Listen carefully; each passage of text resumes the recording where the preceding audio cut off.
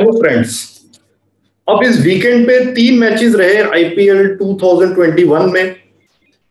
Saturday को तो था हैदराबाद वर्सेस मुंबई का मैच और अब संडे को मैच था कोलकाता वर्सेस बेंगलोर और दिल्ली वर्सेस पंजाब। तो मैं इन तीनों मैचेस की आपसे बात करने वाला हूँ।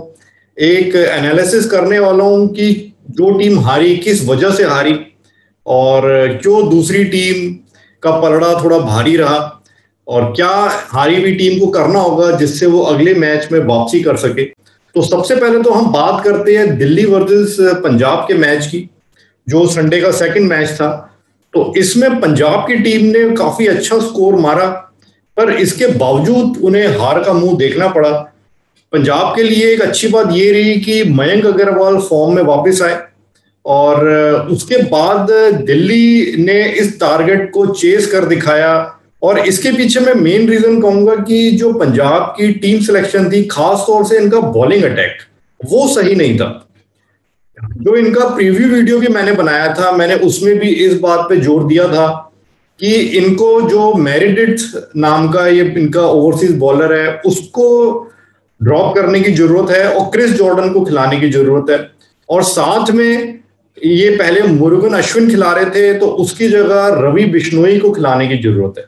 पर इन्होंने मैरिट डेट से ही कंटिन्यू रखा और उसने इस मैच में भी काफ़ी ज़्यादा रन दिए और जैसे पहले दो मैचेस में दिए थे।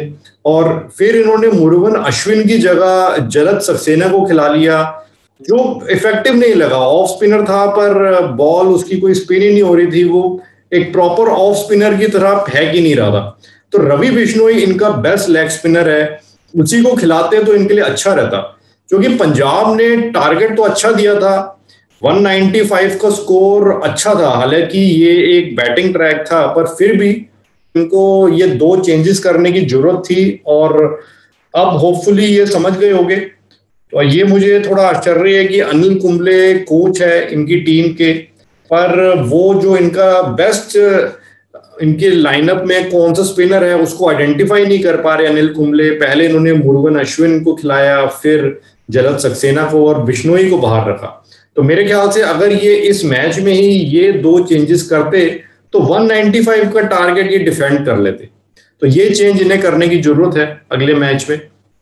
और फिर हम दूसरे मैच की बात करते हैं, जो इससे पहले रहा था संडे को ही जो पहला मैच था, Kolkata Knight Riders versus Royal Challengers Bangalore के बीच में।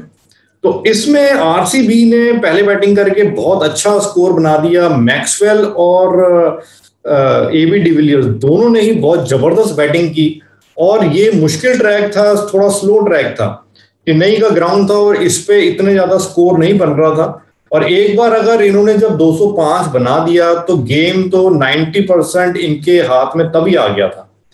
तो यहाँ पर मैं कहूँगा, जो इतना हाई स्कोर आरसीबी बनाने में कामयाब रही, इसके पीछे एक तो मॉर्गन की थोड़ी पुअर कैप्टनसी रही। क्योंकि हम देखें तो आरसीबी की स्टार्टिंग अच्छी नहीं थी।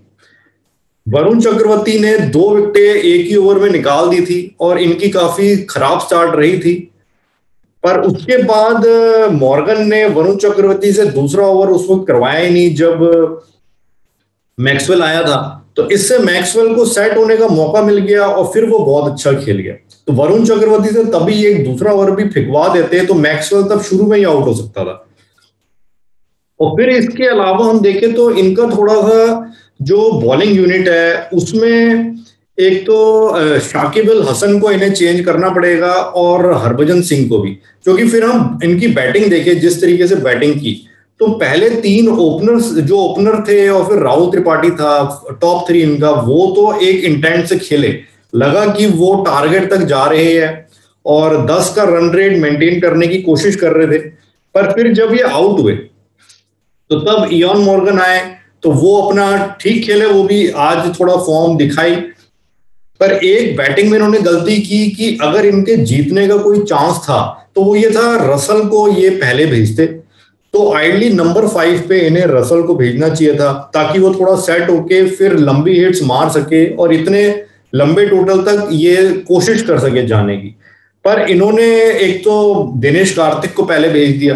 तो दिनेश कार्तिक का तो मैंने देखा है कि वो सिर्फ़ लास्ट फाइव ओवर्स में ही मार पाता है आजकल। पर इसके अलावा जब भी पहले भेजा है कार्तिक को तो वो स्ट्रगल करता है कार्तिक और जल्दी आउट हो जाता है। या अगर नहीं भी होता तो थोड़ा स्ट्राइक रेट स्लो रहता है। तो एक तो यहाँ पे गलती हुई दिनेश कार्तिक को पहले भेजना, रसल को नंबर सेवन पे भेजना। तो रसल को फाइव पे भेजना चाहिए था। और उसके अलावा फिर शाकिब अल हसन की जो बैटिंग थी वो बिल्कुल ही आश्चर्यजनक बैटिंग थी कि शाकिब क्या बैटिंग कर रहा था। वो बिल्कुल रन बॉल वो तो चल रहा था लग ही नहीं रहा था कि वो टारगेट की तरफ़ जा भी रहा है कि नहीं। सो so, मतलब शाकिब के तो प्लेस अब इनको डेफिनेटली रिव्यू करना पड़ेगा अगले मैच में। मैंने तो अपने प्रीव्यू वीडियो में इसी में ही बोला था कि शाकिब की जगह ये अगर नारायण को खिला लेते और तब हरभजन की जगह इन्हें पवन नेगी को खिलाना होता ताकि तीन ऑफ़ स्पिनर्स एक टीम में ना हो तो इस मैच में नहीं किया, पर अगले मैच में अभी नहीं, ये करना पड़ेगा। हरभजन की जगह इन्हें या तो पवन नेगी या एक पेसर को लाना पड़ेगा और शाकिब अल हसन को ड्रॉप करके इन्हें सुनील नारायण को लाना पड़ेगा, क्योंकि शाकिब अल हसन ने जिस तरीके से बैटिंग की, वो बैटिंग तो एक्सेप्टेबल नहीं है। इतने बड़े टारगेट का पीछा करते हुए सिर्फ़ रने बॉल से बैटिंग करना तो या तो वो टारगेट की तरफ़ जा ही नहीं रहे थे, या फिर शायद वो बड़ी हिट्स इतना मार ही नहीं सकते। लिमिटेशन है बैटिंग में तो उसको ठीक करने के लिए मॉर्गन को ये स्टेप उठाना पड़ेगा। तो ये, इस वजह से के के आर को हार का सामना करना पड़ा। मैं कहूँगा पुअर कैप्टनसी और इनको अपने थोड़ा लाइनअप में ये दो इंपॉर्टेंट चेंजेस करने होंगे। और फिर हम जो सैटरडे शाम को मैच रहा, हैदराबाद वर्सेस मुंबई, उसके बारे में भी बात कर लेते हैं।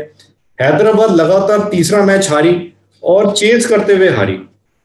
तो यहाँ पर ऑब्वियसली मुंबई ने जो टारगेट दिया था, वो अब की बार भी इतना ज़्यादा नहीं था और ये अच्छा जा रहे थे। बैर्स जो और वार्नर ने अच्छी ओपनिंग दी थी, पर उसके बाद ये फिर से लड़खड़ा गए।